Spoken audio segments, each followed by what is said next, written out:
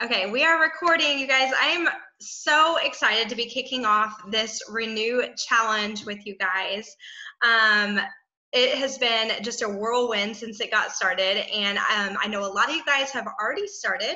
Some of you guys have not, but have already selected your start date. And all of you guys will be starting at some point in January. So, one, we're super thankful that you guys have decided to do this with us, and we cannot wait to see your results at the end of the 60 days. Personally, I started on the second, so I'm a couple days in and going strong.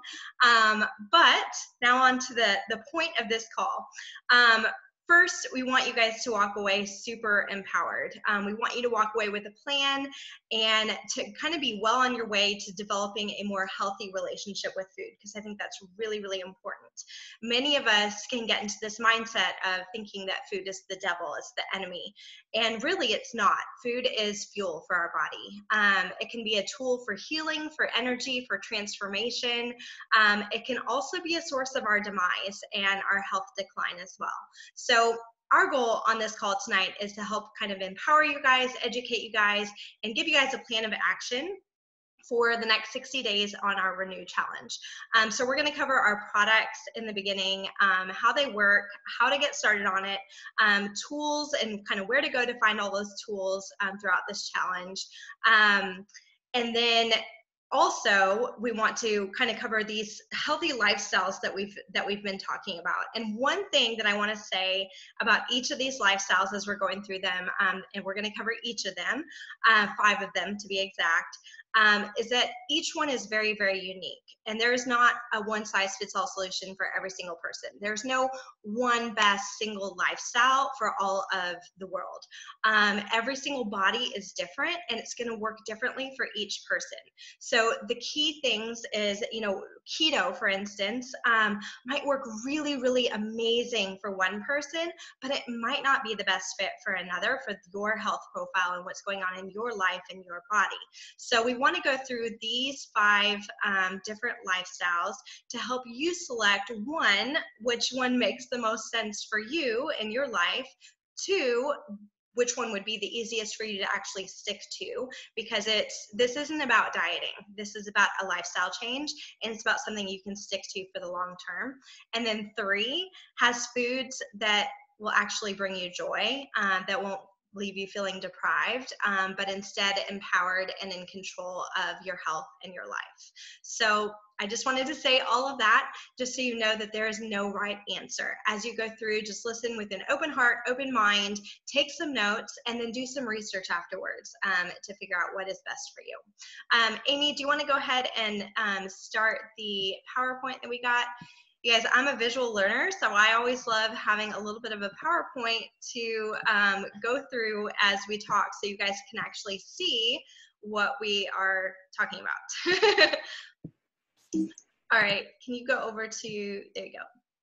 All right, and also I forgot to introduce our hosts on here too. We've got um, Amy Welch, we've got myself, um, Caitlin Livingston, Marion Noon, and Amy Morton, and we're going to walk you guys through all of the lifestyles that we have kind of selected and chosen that we're familiar with and we're passionate about because um, who better to talk about it than people who are actually living it, right?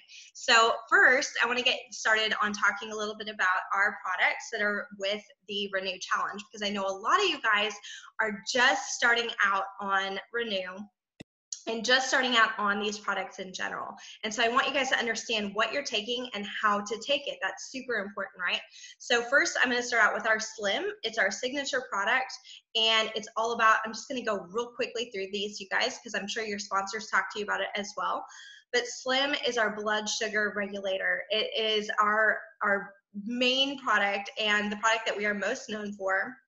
It helps with blood, blood sugar regulation, inflammation reduction, hunger control, hormone regulation, and fat reduction. Um, tastes really, really good, but above all else, it is a health drink and a long-term health drink at that. It helps to balance your lipids, which are your fats. It also helps to balance your cholesterol as well.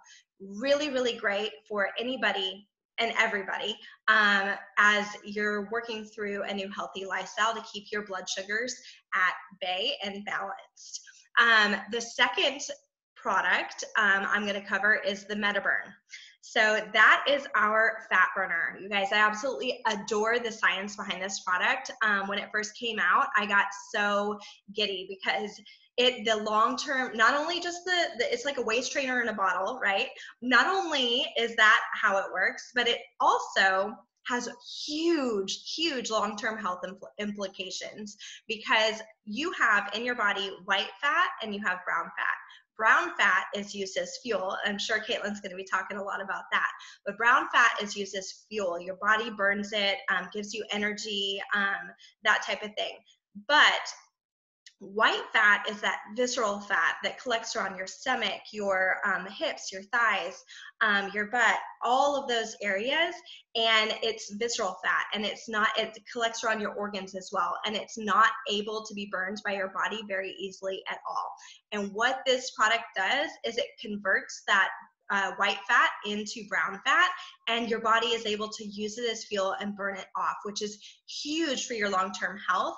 It's huge for um, reducing um, the prospects of disease and all kinds of things that can come with having too much fat um, surrounding your organs. Um, it also works towards um, helping you manage your cortisol with adapt- adaptogenic herbs, um, and it's also an appetite appetite suppressant and it works really well for mental, mental clarity and performance as well. So a lot of people use it as a performance enhancing um, product right before they go and work out. But you guys, this is a really really great product. Um, it target specifically the fat in your stomach, hips, and thigh area. So if you guys are not taking this product, definitely get on it. Um, I'm going to talk a little bit about how to start it on the next slide, but um, in the meantime, I'm going to talk about lean as well. So lean has, it's our, um, a lot of people use it as a meal replacement, but it's also a really great post-workout protein supplement. Um, it's delicious. Um, I know a lot of you guys are just starting out on it tonight, or it's not tonight, this month.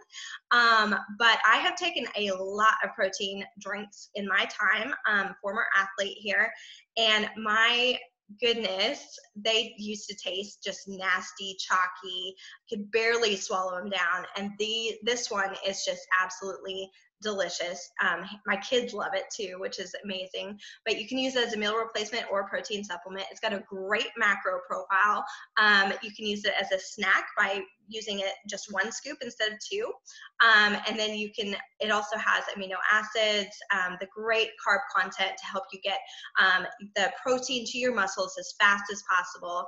Um, when those two things combine, your body is able to get the protein to your muscles after your workout as fast as you need it. So really, really great um, product actually every single um, bag that you guys purchase as well. We have a philanthropy with it, and um, we donate to um, Feeding America um, 14 meals for every single bag that you purchase. So it's a really great um, you know philanthropy as well from um, that perspective. Active is our newest energy drink and it's not just any energy drink you guys. Um, this is something that can replace if you guys have um, a red bull habit or a bang habit or something along those lines this is an easy swap out to give you quick energy, tastes delicious. It helps with your concentration, helps with your performance, and it helps with your muscle recovery. So, what a lot of people do with this is they actually drink it in conjunction with their slim. They'll mix them together and either take it before a workout, during a workout, or after the workout because it helps with both performance and active recovery as well. Really great, clean, clean, clean, healthy energy product with loaded with antioxidants as well. So definitely something to, to keep in mind there. Um, Amy, do you want to advance the slide so I can talk a little bit about starting out guide? So you guys, with the starting out um, with your, your products, the biggest thing that I can say to you guys is keep it simple workout routine it is far better to take these products um, every single day from a, on a consistent basis than it is to take them at the right time so for instance if you miss your slim and it's like four o'clock in the afternoon anyway take it at that point. getting some feedback hold on there we go um, take it at that point so if you if you skip a product and then you realize that a couple hours later and you didn't take it at your correct time take it at that point. It's far better to take it than to not. There's going to be very different variations that you guys can take with each of these products, but what like I said earlier, when you're first starting out, like you have never taken these products before, follow this guide. Um, if you don't have it, ask your sponsor for a copy of it, but follow this guide through implementation and then play around with it listen to your body's cues. I can tell you guys that I love to take my slim and my active all at once together in the same um, little cup. And it's delicious, and that's what works for me. I take my ProBio 5 and my Bio Cleanse at night. I take my MetaBurn with my my lean at lunch and that's it. That's all i got for the day. I just took everything right? So work through what works for you. Keep it simple. Consolidate the times that you are taking products so you're not taking products throughout the whole day. And then meal replace with your lean which with whatever meal makes the most sense for you whether that's breakfast lunch or dinner. Um, we've had a lot of people have success meal replacing their dinner as well. So just keep all of those things in mind. And i did want to say a special little um, caveat to all of this. If you are doing this challenge and you are embarking on a new workout routine and you or you have been a very active person i want you guys to use the slim and the metaburn as a pre-workout sip on that active throughout your workout in your water bottle um, so that and then take your lean after. Those four things metaburn and slim before workout during workout active and lean post workout is going to give you the absolute best combination and using your um, workout the best way because you're going to get that great protein to your muscles. You're going to um, get that slim and that active in you um, for great energy and, and recovery throughout your workout and the MetaBurn as well. So that's all I got for keeping for getting started. You guys make sure you're drinking your water as well. And I'm going to kick it over to Amy. She's going to talk to you guys about some tools that you can use throughout this challenge to um, to best utilize the challenge and just to kind of know where to find everything. Hey guys, hope you're having a great day. So today was my day one. I actually got up at 5 a.m with my roommate Kim. We knocked out almost three miles. We did not want to get up, but hey, we are serious about this renew use. I'm really excited. One thing I like about it are the tools and the accountability. So I want to show you and talk about a couple places where, guys, you can get as much accountability as you want. Lots of great resources. So the first one is just for our team. So the people who are our customers and our clients, we have a an accountability chat. It's through Facebook Messenger. Anyone can be in that. Uh, we can probably share maybe the link to that here in the chat. But what I like about that is you can use that as often as you need to. You definitely want to mute it if you join it. But inside Facebook Messenger, in a thread, you can click the title of the thread and there's shared photos. So there's already tons of recipes. People have been sharing recipe graphics. There also are check ins. People have been chatting all day today and giving each other thumbs up and kudos for, for getting their workout in. We're sharing workouts, we're sharing tips. So it's really great. It's for ambassadors, it's for customers, anyone on our team. I really recommend you guys get in there.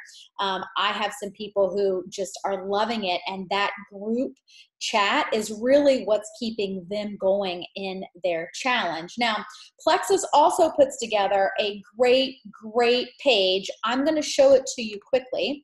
It's called the Plexus Fit Squad also operates on Facebook, and I know not everyone uses the Facebook um, platform, but this is really great. And the reason I want to show it to you so, here's the name of it. You type in Plexus Fit Squad. It's a public group, anyone can find it. Now, if you're not already in it, you will have to request to join.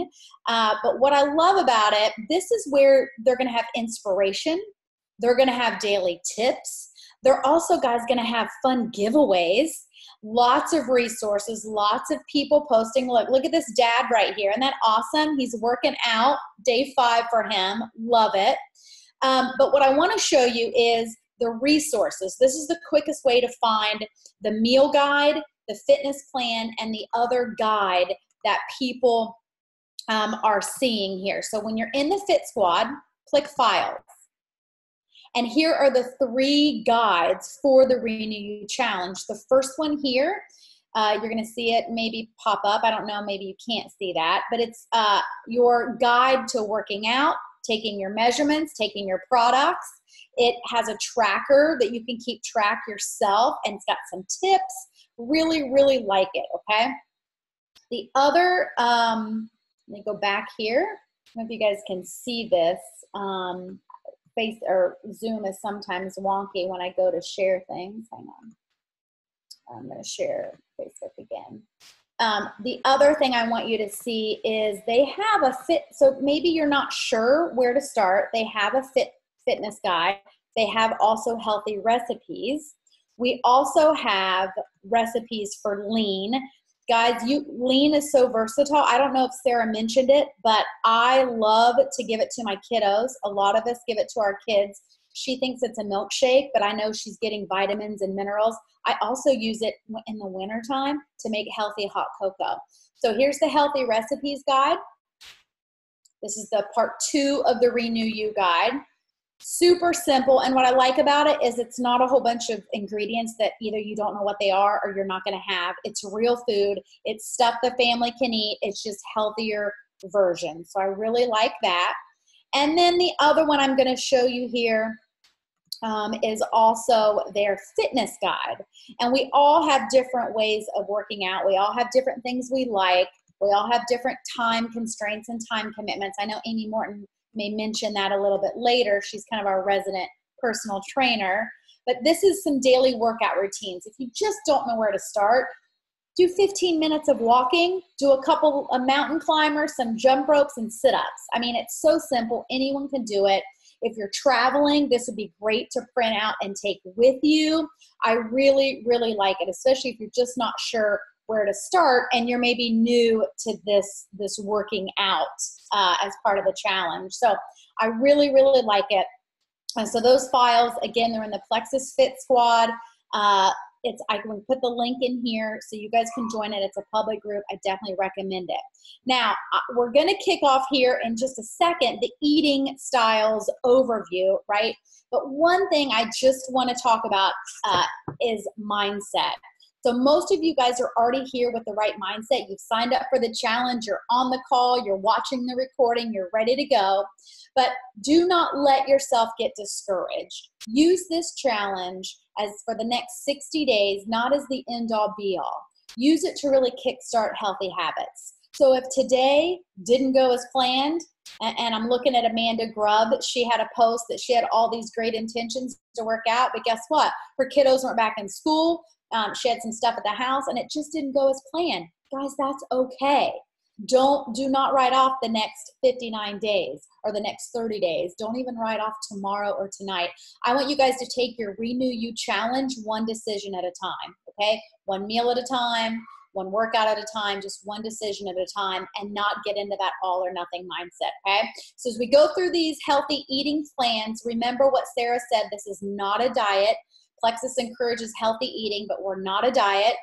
Some of you, for your Renew You challenge, you're just going to give up fast food. Or maybe you're going to cut out soda. That's totally fine and that's awesome. But we know for other people, they really want a prescriptive guide of things to eat and things to not. And they're looking for di- different options of what might work best for them. So I'm actually going to kick it over to Marion.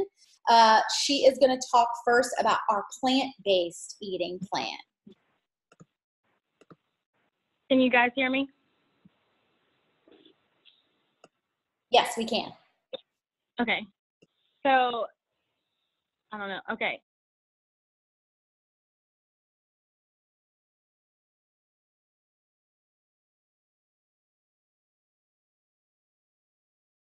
You're muted again.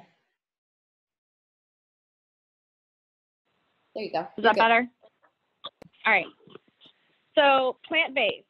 Um, first thing I want to say is I would I could spend an hour reiterating all of the things that Amy and Sarah said. They have so much value and after being in this business and in this taking these products for 4 years guys like I can't even tell you how powerful they are, right? But one of the things that I have realized as a coach and what I was so excited about doing this call when Sarah and Amy reached out to us about offering variety is it's so true. Like different strokes for different folks, right? And I realized through my coaching over the last four years that not my modality of uh, exercise or my modality of eating style or my modality of mindset doesn't quite work for everybody. And that's why I love our team. I love that we're offering a variety where you guys can come in and look at all of the different skill sets that each of the leaders on this team have, and you can grab and choose what works for you and not necessarily one. You can take pieces and parts from each one and create your own dynamic. And that's exactly what I did. So I'm going to give you a little bit of history, right? The reason I joined Plexus was not for weight loss. I've always been, since I was 18 years old, an exercise fanatic, right?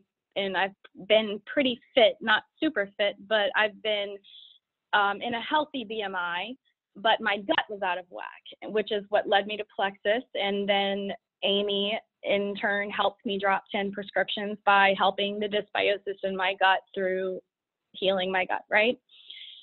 So I, it's kind of ironic to me in a way. Um, some of you know me, some of you might not, and some of you that don't know me might look at me and think, oh, she's the yogi, oh, she's the hippie, oh, she's all plant based, oh, she's vegetarian, oh, she's saved the earth. But that has not always been me.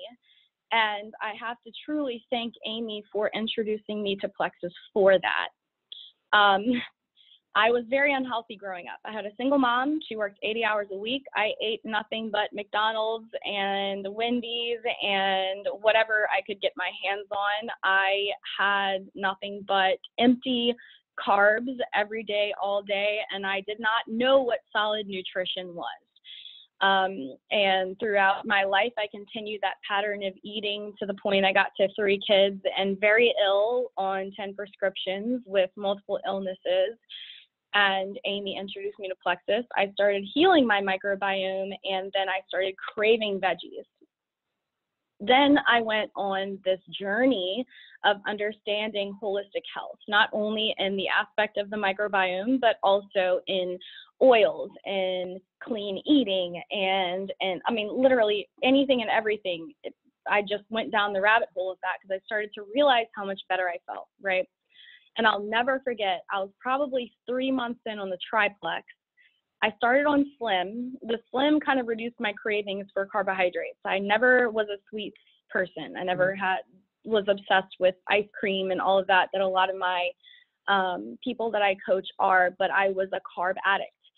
And I'll never forget, three months in on the triplex, I was cooking um, gumbo and I was cutting up celery and the smell of the celery made my mouth water. And I was like, oh my God, I'm going to take a bite of this. And before I knew it, I ate three stalks of celery. And I was like, wow, this is crazy. Like, there's something to this. There has to be something to this, right?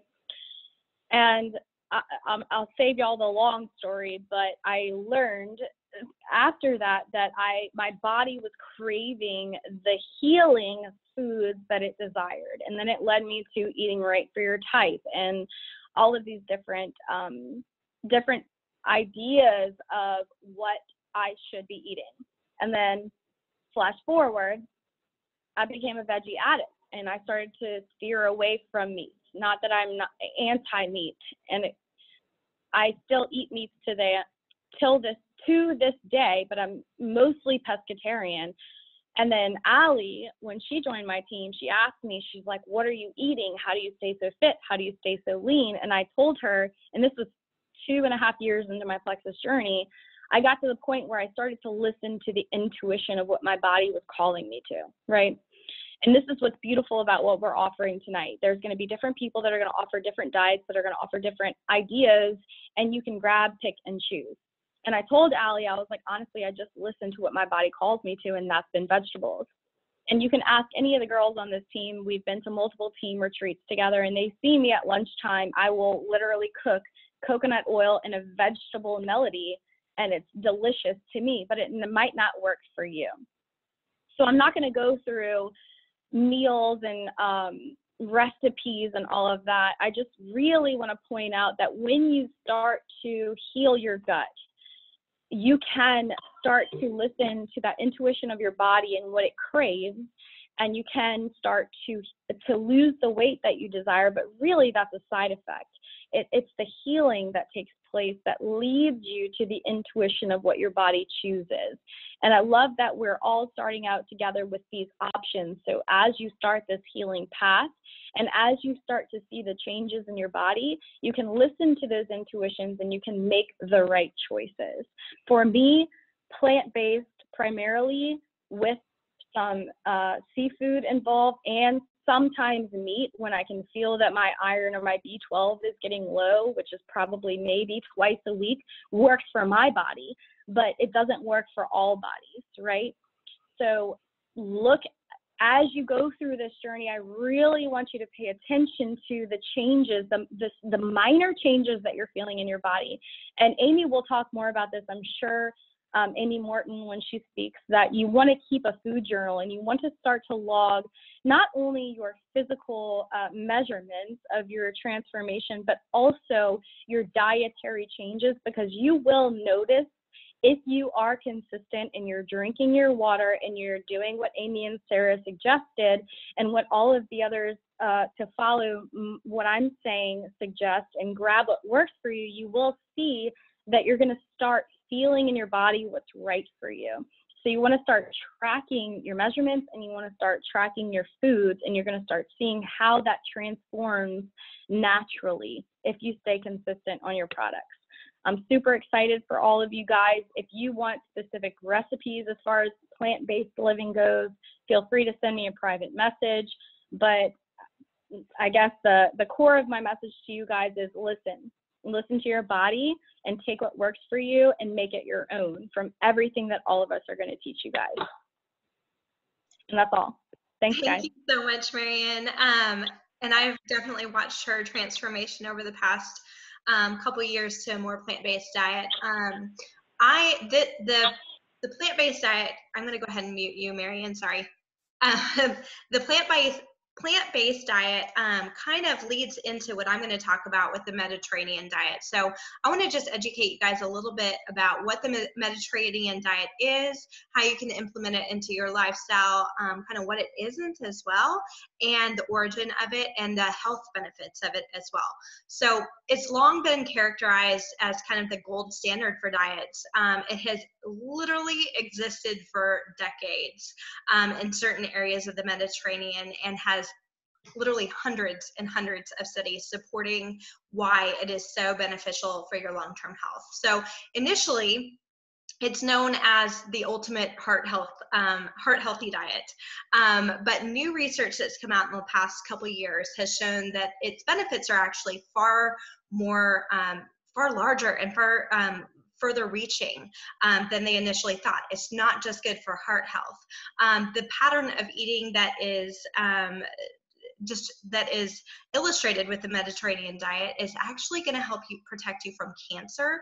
It's going to help you live longer. It's going to protect your brain and even improve your mood, your mood, and um, help you avoid chronic disease as well. It's super sustainable from a eating perspective, how the the um, items that you're going to eat are farmed, um, where you get them, that sort of thing. So it's a very sustainable diet, and it's also um, low on the food chain and very, very affordable as well.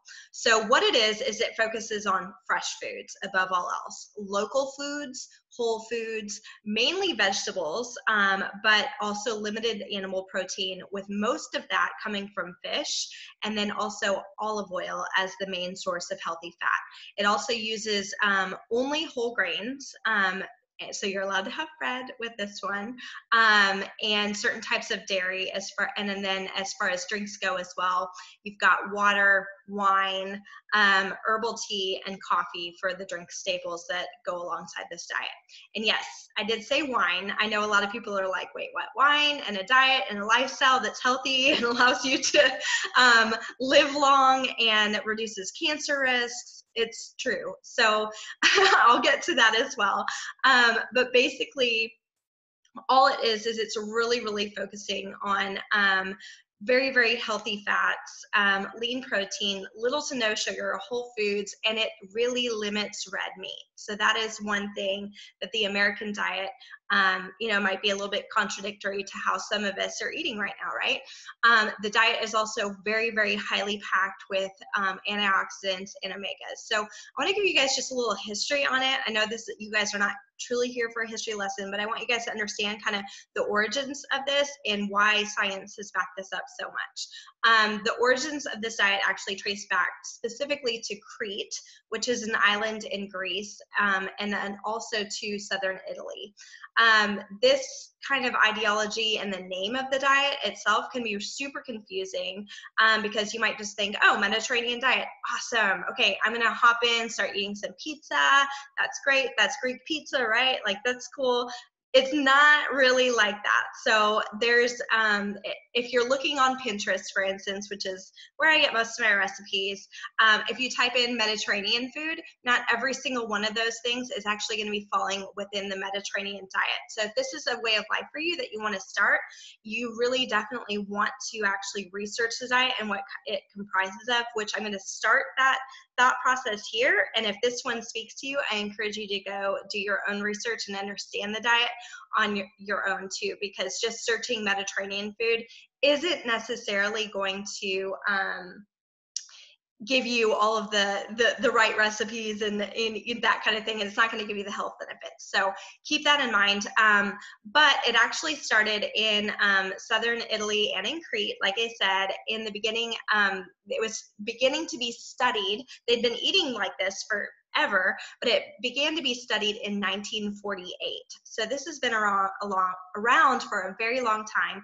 It started to be more extensively studied in the 1960s, and um, it was studied because scientists started to realize just how extraordinarily long the lifespan of the people living in these regions was and their odd lack of chronic disease. Um, so that kind of brought the attention to it, and um, the scientists have been studying it extensively for decades since then. There's also 20 different regions, I kind of already covered this, but there's 20 different um, countries that border them that have similar eating styles. And so um, what I'm about to cover for the guidelines is super important to understand because not all of those ways of eating actually fall in line with this specific diet in this specific way of life. So so um, the it's actually the ratios of the carbs, the carbs, the proteins, and the fats, as well as the sourcing, um, being cognizant of the sourcing of your foods, that really is what makes this successful. So the guidelines here are that um, food, your food source is going to be mainly from plant sources. This includes fruits, vegetables, beans, nuts, grains. Um, vegetables are actually the main course, and then meat and poultry or fish um, is more of a side dish and it's not actually consumed daily. The vegetables um, should be local to your region and not necessarily Mediterranean. So I live in Texas. Um, not all of my um, vegetables are going to end up being the vegetables that are found in Crete but that's an, an, important thing to think about. It needs to be your region. They need to be fresh, okay? Um, the food in this diet is very minimally processed. Um, the meals are made up of vegetable-based, simple home-cooked dishes. Um, local and seasonal foods are absolutely preferred, which often uh, maximizes the health benefit and the micronutrients and antioxidant content in these foods. It makes them more fresh, more um, viable for your body. Um, and it's also better for the environment as well. Um, but olive oil is the main fat. So you're going to replace, if you go on this um, lifestyle, you're going to replace everything with olive oil. No more butter, no more margarine, um, that type of thing. The olive oil is a key, key staple that cannot be um, swapped out in this diet, okay? Um, it's very much the, the big key in this. Um, so extra virgin olive oil is used for all of your cooking needs in this, including roasting, sauteing, baking, the whole nine. Um, so daily consumption of low and moderate amounts of quality cheese and yogurt is key. Now I want to say something about the yogurt, you guys. Um, read your labels. If you're going to be starting on this this lifestyle do not go up to um, your local grocery store and grab a yoplait yogurt that is um, flavored with strawberries and call that your your breakfast right? You need to buy plain yogurt with no sugar added high quality yogurt um, none of the ones that have all the different flavorings added um, that have been altered. Um, greek yogurt is a really really good thing to to uh, focus on for that. But no sugar added is super, super key in this. Um, weekly consumption of moderate amounts of fish is actually a huge part of this um, as well. And then um, poultry as well, but fish is definitely favored over poultry in this. Um, and then zero to four eggs per week on this particular lifestyle. Fresh fruit is typically a dessert um, or a small snack. So it's not a main part of your plate. The vegetables are actually going to be the main part of your plate. Um, red meat is only consumed a couple times a month. Um, you're mainly focusing more on the fish and then also the poultry. Um, moderate consumption of wine um, is okay with this, and it happens normally with meals. So you can have one to two glasses a day of wine on this, and it actually fits in with the profile of all this. But I will say kind of a good rule of thumb for for most of this is um, one uh, glass for women and two glasses for men. I know it's not fair, but um, that's kind of how it works. Um, what thing I will say, and this is not in any of the research I did, but you guys be really careful with the wine we get here in America. Um, a lot of it has tons and tons of chemicals that are added to it and lots of sugar. So make sure you're buying really high quality wine as well if you're going to add something like that to your daily consumption, okay? Um, and the true Mediterranean diet is about 40% carbohydrates. So um, just think about that. You can actually have bread every single day as well, three servings of bread. Um, so that's a big part of it too, but you've got to make sure that it's whole grains. So I'm going to give you a brief rundown and then kick it over to our next speaker. But vegetables, six servings a day, guys. Fruit, local, seasonal, only for snacking and dessert. Dairy, two to three servings a day, and that's um, regular fat cheese and yogurt. Goat and sheep cheese is is the main ones here. Meat and poultry, red meat isn't really a, a huge part of it. Um, and then fish and seafood, um, it can also be canned fish or seafood, two, two servings a week. Um, grains and bread, three times a day. And those are always accompanied with the um, the vegetable dishes. So you can do pastas, you can do breads, that kind of thing. Um, beans, two to three servings a week. That's a huge part of this um, protein source for this as well. Um, your greens and all that. So here's the bottom line, guys. This diet has a huge focus on fresh and not processed ingredients, local, sustainable sources, healthy fats, and a very small focus on beef and chicken, and instead getting your daily protein from beans, cheese, yogurt, and fish. Um, so the health benefits that come along with this are lowered risk of cancer, specifically uterine cancer and breast cancer reduced inflammation due to the omegas that are found in all the foods, improvement in your brain and heart health that actually boasts a 25% lower risk of heart disease if you follow this habitually. Um, it helps to ease pain because a compound in the olive oil is called, I'm, not, I'm going to mess up the pronunciation of this, but it's called oleocanthal um, and actually has the same or similar effects to NSAIDs like aspirin and ibuprofen. Um, slows aging, um, strengthens, strengthens, strengthens skin, and increases life expectancy, and then also helps you reduce weight. So I believe um, Caitlin was, or was it Amy? Amy's next. Um, I'm going to pass on over to her to talk about Whole 30. I'm next. Hey guys. Okay, so I am going to talk about Whole 30. For those of you guys, though, who don't know my story, I came to Plexus because of thyroid disease, and I also have had one lobe removed. My story is incredible, but one thing about those of us who live with thyroid disease is that our bodies don't actually process glucose as they should. So we typically do better on a lower carb diet. We also do better on lower inflammatory foods. And so that is really what Whole 30 kind of centers around. Now, I'm talking about it because I've done about nine rounds of Whole 30. I did it back the first time around 2010 uh, before it was popular, before anybody knew what it was, before you could buy anything that was Whole 30 approved. It was so hard to do it back then. Now, the last round I did, though, was just this past fall. I did the 30 days very, very strict as it's written, and then I did the reintroduction phase. So, Whole 30 is very popular. I hear a lot of people talk about it. Many of you guys are probably thinking, yes, here we go. I'm so excited. I want to do Whole 30 for this challenge. But what many people don't realize is that Whole 30 is actually an elimination plan and it helps you to learn what foods are triggers for you in your body that cause inflammatory responses. And it also was designed to change your emotional relationship with food.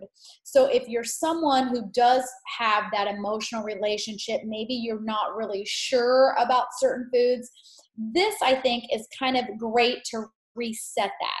It actually began back in 2009 with Melissa Hartwig. She blogged about a 30 day food experiment.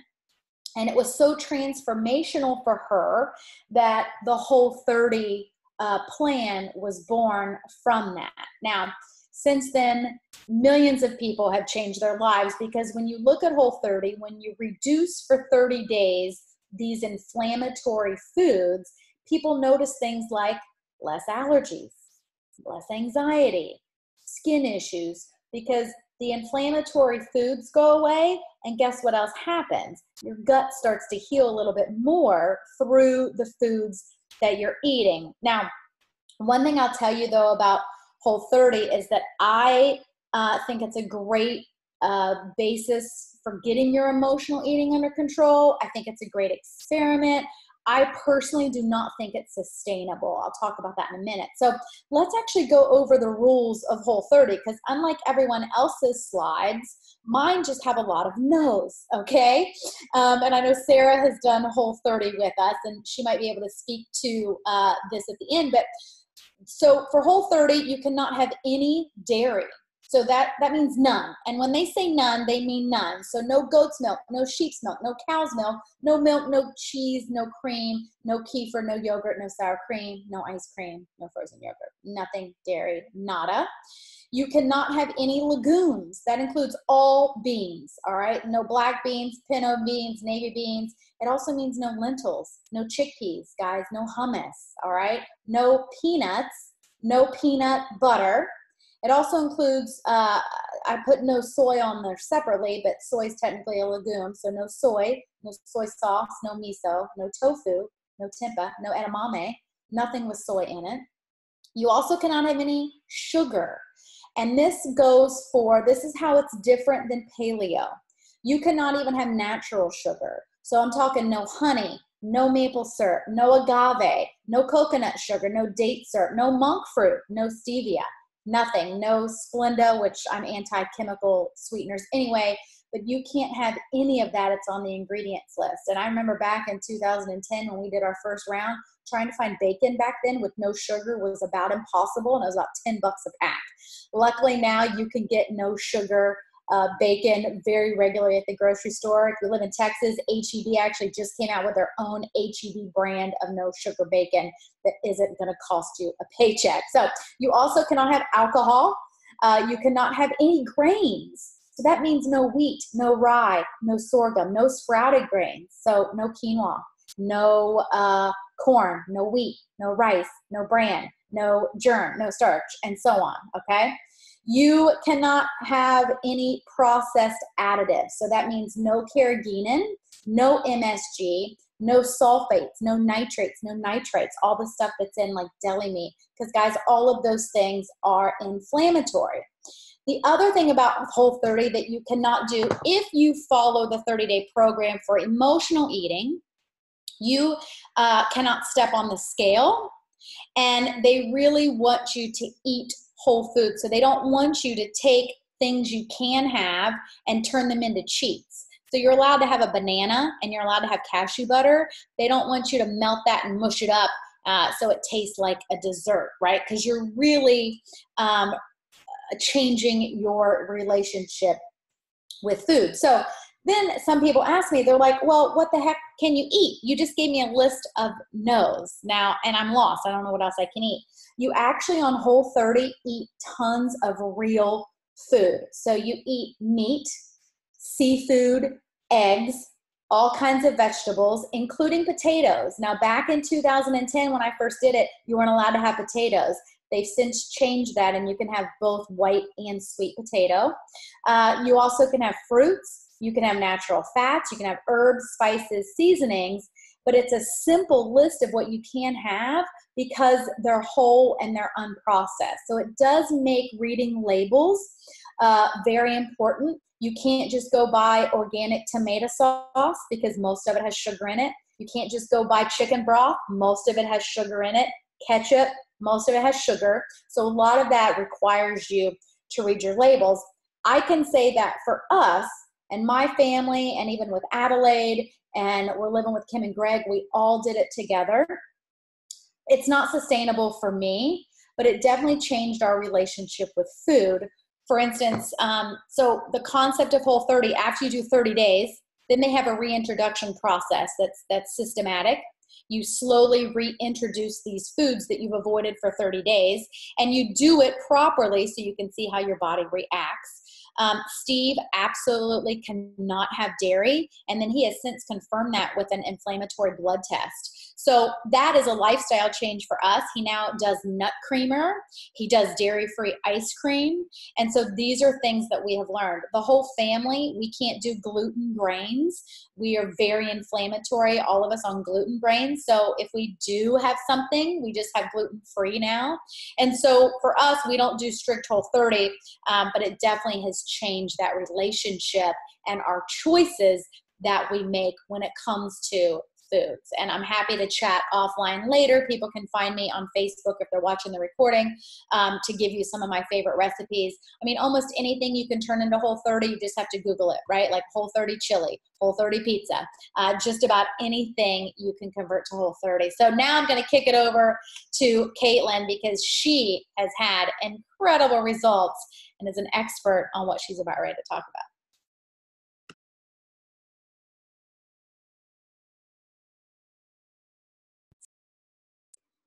Hey there. Do, am I unmuted now? Yes, you're good. All right. So, hi, everyone. Okay, so I'm going to tell you a little bit about two different things. First, let me introduce myself. I'm Caitlin Livingston.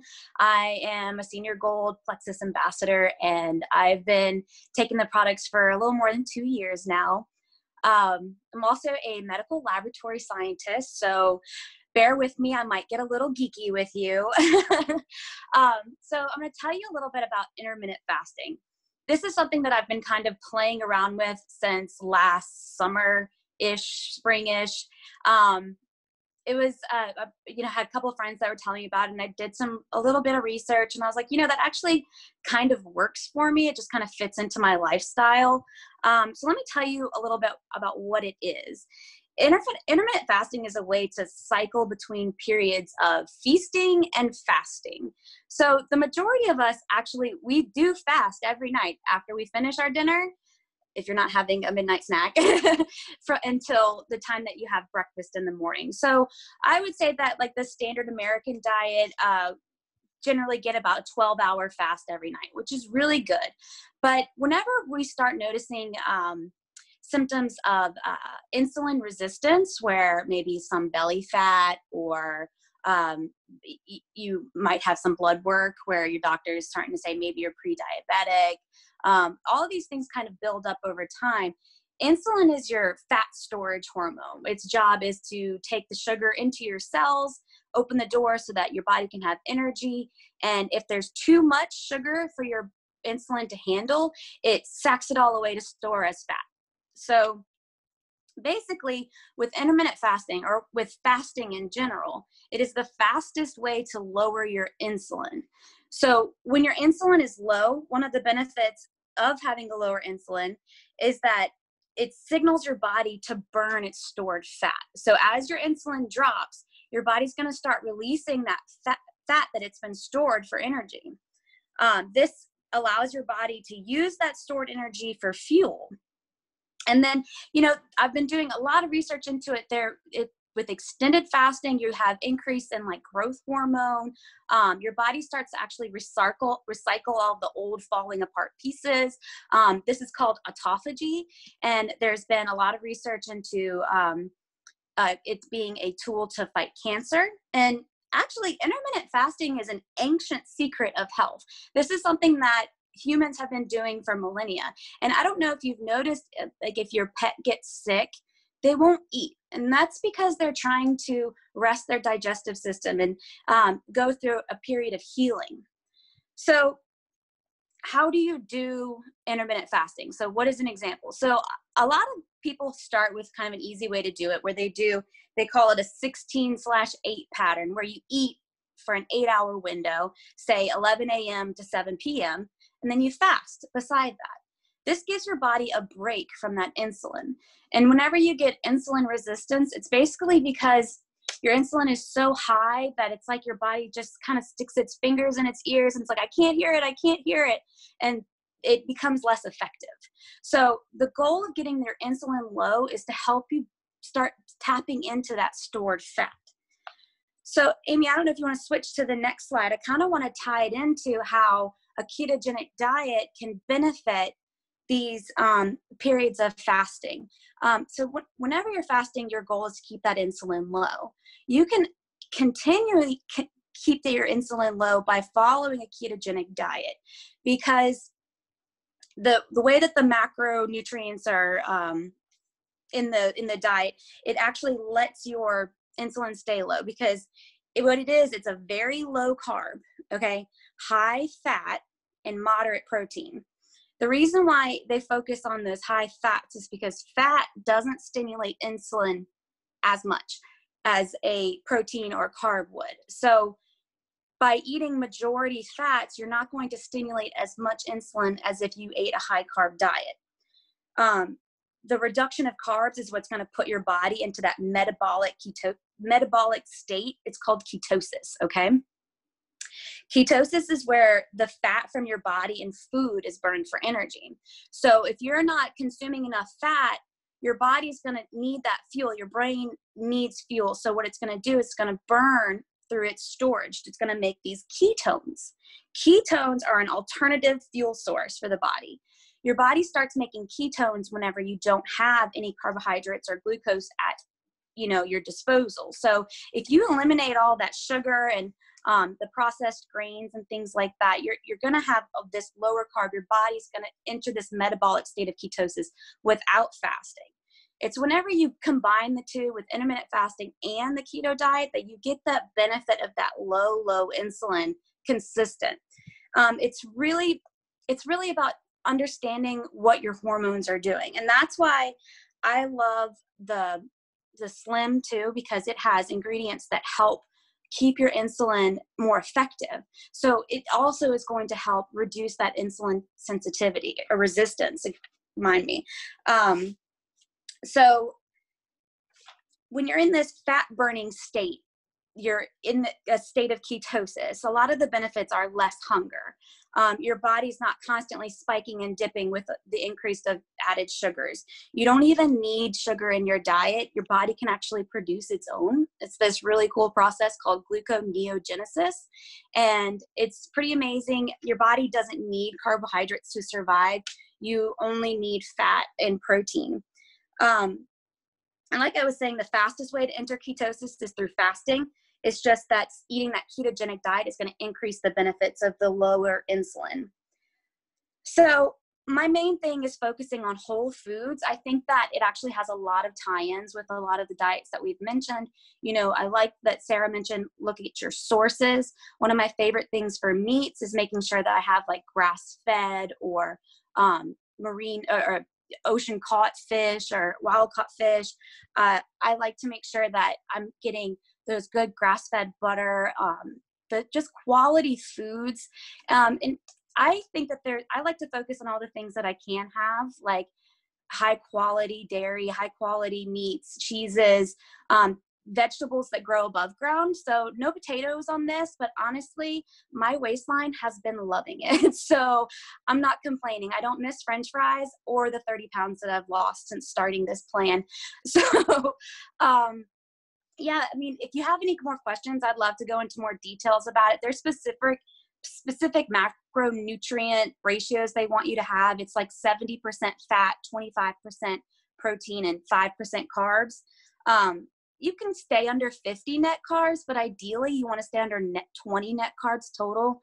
Um, I actually put together a list of some of my family's favorite recipes. My family has not been complaining at all about any of these recipes I make. Things like cheeseburger soup and steak and broccoli, asparagus and salmon. Basically, it's a meat and a veggie, you know, with some fat. And if you find that you're hungry, add more fats, you know? Um, and a lot of my healthy fats are going to come from nuts, um, my oils, coconut oil, avocado oil, olive oil. I cook my veggies in bacon grease. Um, yeah, I could share some recipes. Just let me know. I would love to, to, you know, tell you more about what I've been learning. I hope that helped.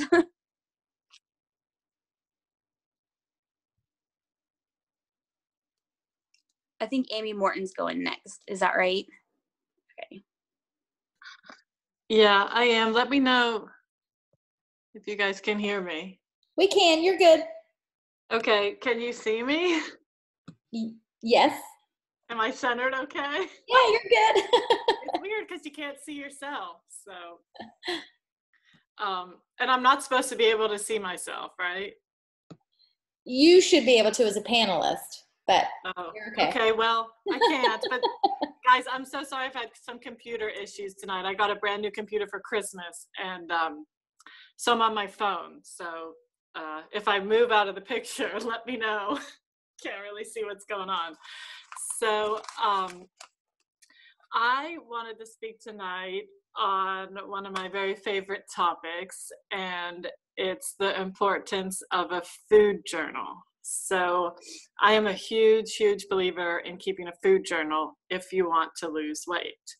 I mean, even if you don't want to lose weight and you just want to like keep yourself in check, it's a good idea. Sometimes for uh, one of my kids, um, I've done it with Caroline recently, for example. When I feel like Caroline's getting off with her diet, I'll keep a food journal on her for three days to um, make sure she's getting everything she needs. So, um, anyways, that's kind of off topic, but food journals are amazing. Food journals equal weight loss. If you want to lose weight, keep a food journal. And I have to admit, I'm very old school. I am a believer in pencil to paper food journals. There's something about taking the pencil or the pen to that paper and writing it down that makes you stop and think, oh, should I eat the rest of my kids' goldfish?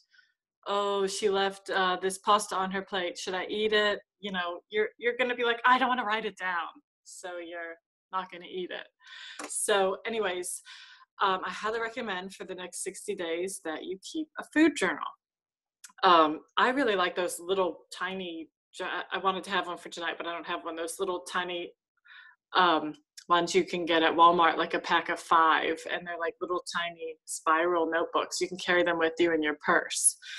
Um, I do understand that most people are not old school anymore, and most people like to type things in their phone, like in the My Fitness Pal, which I I am a fan of My Fitness Pal. I really am. It works as long as you use it for some reason when people use apps like that i feel like they do it for two weeks and they stop um, as long as you use it the whole 60 days it will work um, so um, the well, where was i the food journal my fitness pal so yeah just do what works for you but keep a food journal so you can write it down or you can um, use uh, use a MyFitnessPal or there's like my diet diary. There's a whole bunch of them that are great.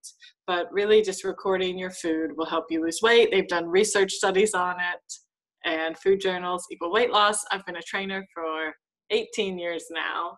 My clients that keep food, food journals lose weight. My clients that don't, well, some of them lose weight, but it takes a long time, you know. But it's amazing when I can get someone to keep a food journal. so um, that's my advice for the next 60 days. Okay, so I wanted to speak also about tracking macros. I'm sure you've all heard about macros. Um, and you're probably wondering, what is a macro? what is it? Well, it's a macronutrient. So um, uh, before I get too into macros and how to track them, I do have to talk about calories. So I did have this whole long presentation for you all about how to figure out how many calories you should eat per day if you want to lose weight. And as I was reading it when everyone else was talking, I'm like, holy cow, this is just too much uh, math for tonight. I got to be honest with you, it's really good math and it, it's how you figure out your calories. But you guys don't really need to know this because you can go online and Google how many calories, you know, go to Google, how many calories should I eat to lose weight? It's going to pull up a whole bunch of different calorie calculators. And you can choose one. And um, the way that you can figure out if it gives you the right number of calories per day is take your current weight and um, multiply it by 12 and then take your current weight and multiply it by 18 make sure those the calories are um, between there. Or, better idea, just ask me if it's a good calorie calculator. I have a few that I really love. Most of them are great. So just pick a calorie calculator and it's going to ask you like, it's going to ask you usually your age, your weight, your height, um, and then it's going to ask your activity level a couple different questions and it's basically going to just give you how many calories you should eat to lose weight once you have that you can compute how many macros you need to eat to lose weight okay what's a macro oh one more thing about calories um, i am a huge believer in well this is how it works to lose weight you got to go negative calories so um, so let's say you well, I'll keep it really simple. So 3,500 calories is a pound. If you want to lose one pound a week, you got to go negative 3,500 calories. If you want to lose two pounds a week, you got to go negative 7,000. That sounds like a lot, but it's really not. If you're burning calories and if you're also cutting out about 500 calories a day. But that's how you lose weight is you eat less and you move more.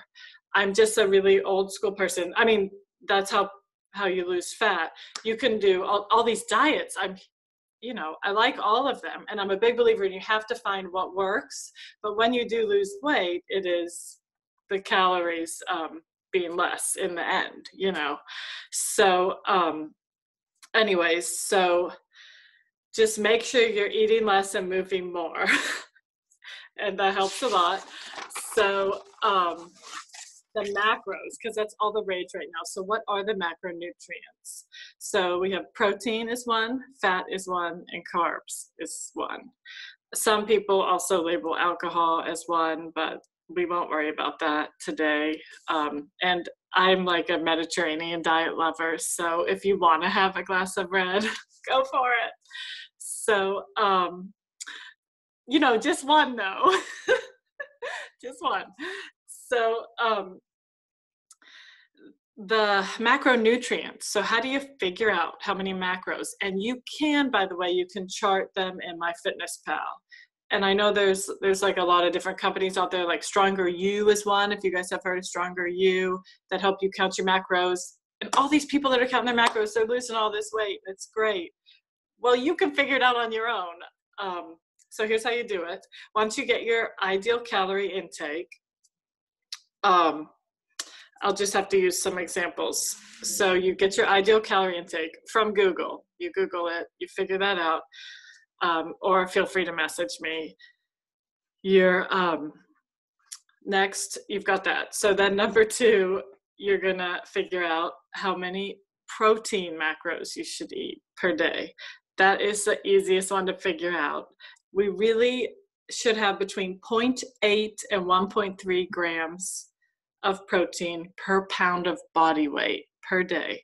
So for my clients, I usually say one gram of protein per pound of body weight. So if you weigh 120 pounds, you want to have 120 grams of protein. Super easy, right? You weigh 150 pounds, you want to have about 150 grams of protein. Okay, so and you can chart that in MyFitnessPal if you want to do that for the macros. Um, so then we got to calculate the fat intake. How many um, fat macros should we have? So um, ideal is between 15 and 35% of your total daily calorie intake. So I usually tell my clients 25, let's do 25%, you know, in between 15 and 35.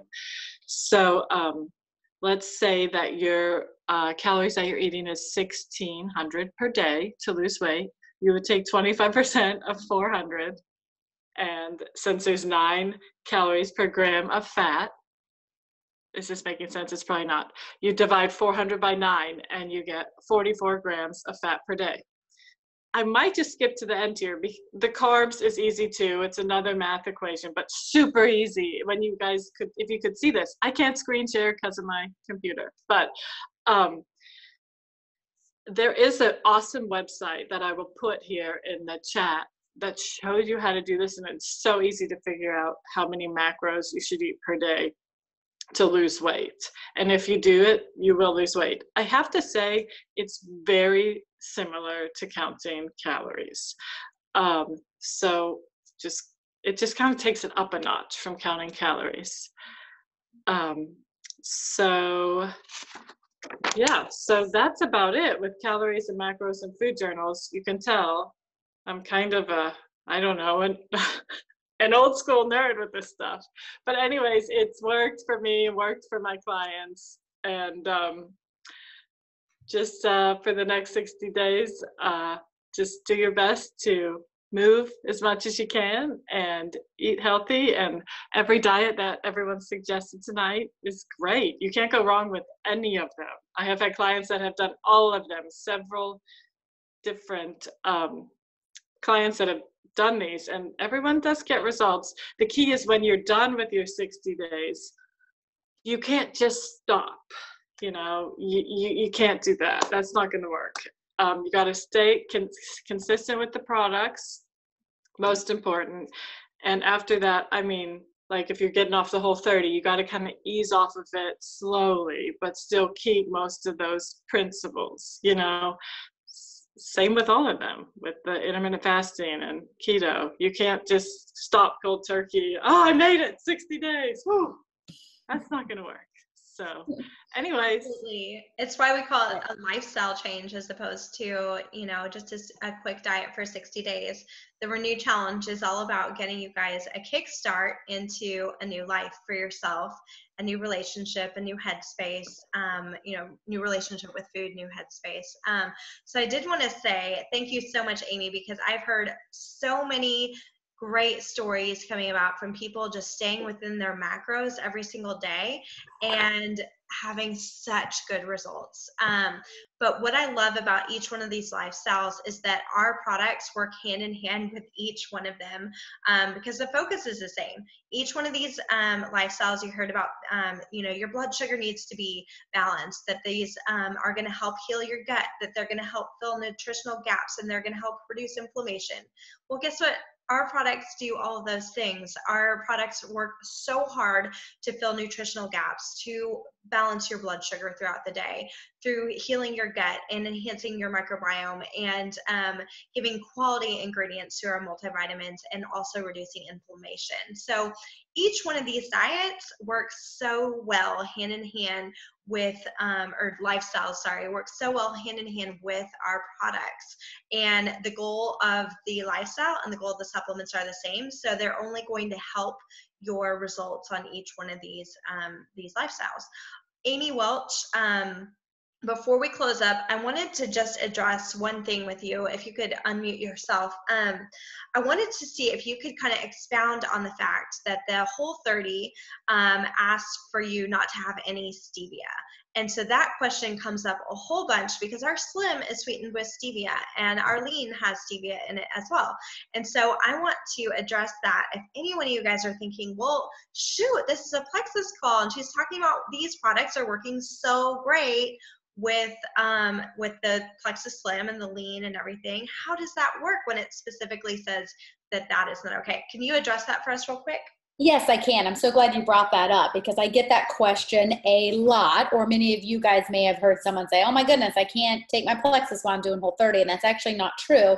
When you even ask the experts, and if you read the whole 30 book, so a lot of people ask me, Do I need to read the book? You don't have to to do the program. Their website and blog is amazing, but the book really gets to the why of the program. It even recommends gut health supplements like probiotics and magnesium and omegas, all the stuff Plexus has but with the stevia, the reason you're cutting out sugar in Whole 30 is to get your body to stop craving it and stop depending on it. Okay. So they're cutting artificial, they're cutting natural sweeteners like stevia because they don't want you to still eat the cookie, even though it has stevia in it. The reason you're allowed to have the stevia that's in the lean and that is in the pink drink specifically is because the pink drink is doing the exact same thing Whole 30 is. It is eliminating your cravings for sugar. It's eliminating your body's dependence on sugar and it's regulating that insulin. So that is why it is allowed. You know, you also will see for people who drink kombucha, it has a little bit of sugar in it. That's also allowed. So there is that kind of gray area, but I implore you guys if you do whole 30, you will want to murder somebody if you do it without your plexus. It is not easy to detox from all of those foods. It's a lot easier when your gut and your insulin and your blood sugars are already regulated, which is what the pink drink specifically does.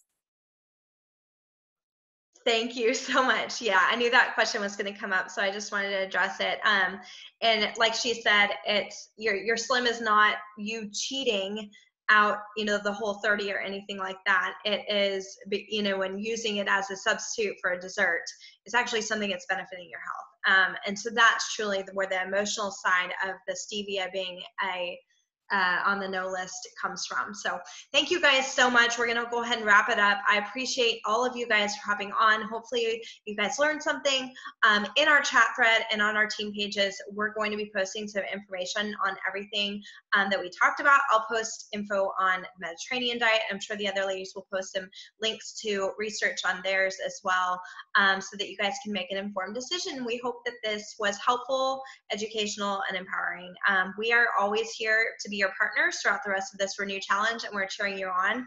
We can't wait to see where everybody ends in the next 60 days. Have a good Monday night. We'll see you guys later. Bye.